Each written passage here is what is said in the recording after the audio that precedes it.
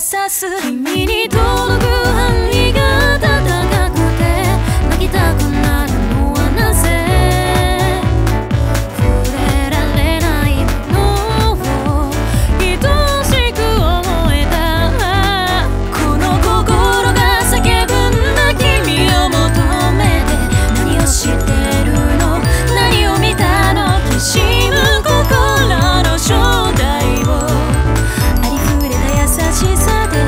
教えてよ」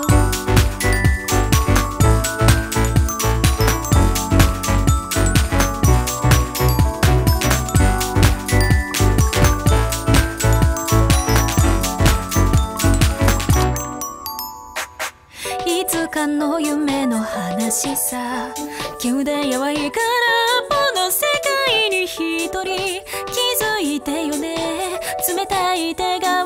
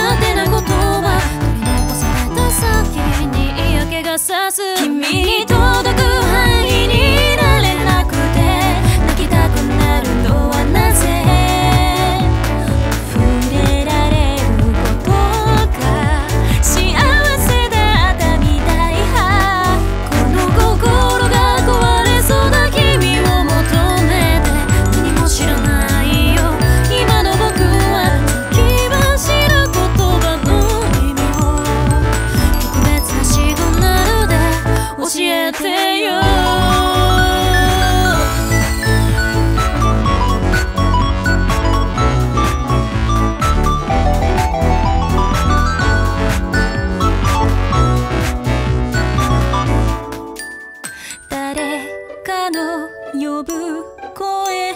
初めての帰り道が懐かしい。ああ多分わかったよ。不器用な笑い方も全てが恋しい。君にと